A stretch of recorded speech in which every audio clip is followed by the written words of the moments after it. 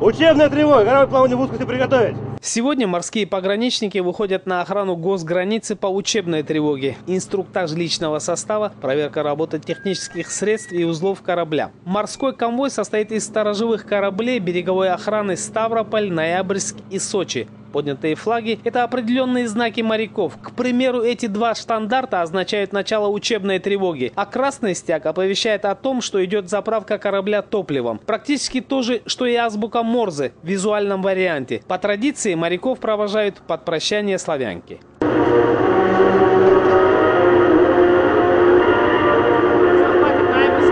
Морские пограничники выходят в море дважды в год, в апреле и в сентябре, в период нереста. Именно на это время приходится фаза активности браконьеров. Задача морской охраны – задержать их маломерные суда и нарушители пограничного режима. Браконьеры сегодня оснащены современными байдами, с которыми трудно тягаться в скорости, говорят в морской охране. Помогает катер береговой защиты. Он может развивать скорость 50 морских узлов, это около 95 сухопутных километров в час. Используется, значит, э, как корабельный состав, значит, также используются катера государственной морской инспекции, скоростные катера, значит, катера отряда пограничных сторожевых кораблей.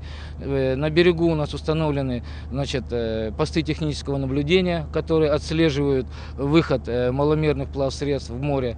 Совместное оперативно-профилактическое мероприятие отряда сторожевых кораблей погрануправления проводится дважды в год весной и осенью в период нереста. Задача морских пограничников не только поймать браконьеров, но и выпустить улов в естественную среду обитания. Биоресурсы Каспия с каждым годом уменьшаются. Возможно, поэтому незаконная добыча двух или более рыбосетровых пород – основание для возбуждения уголовного дела. К примеру, в прошлом году военнослужащими погрануправления из незаконного оборота изъято около 7 тонн морепродуктов. С нарушителями у пограничников разговор короткий. Изымают байды, сети и улов. Рыбы выпускают в море. Основная задача – это не допустить выхода браконьерских групп, чтобы рыба нормально прошла на нерест – Соответственно, будем перекрывать берег, заставлять браконьеров не выходить в море. Участки у нас по всему берегу расположены.